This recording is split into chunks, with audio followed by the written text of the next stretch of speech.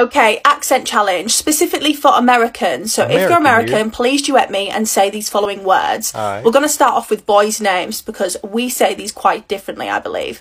So first name, how would you say Graham? Graham. Okay, how would you say the name Craig? Craig.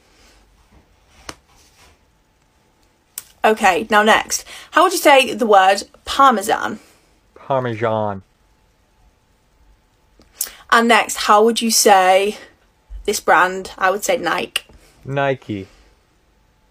And then another brand, how would you say Adidas? Adidas.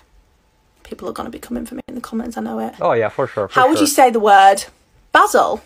Basil. And last, how would you say the word oregano? Uh.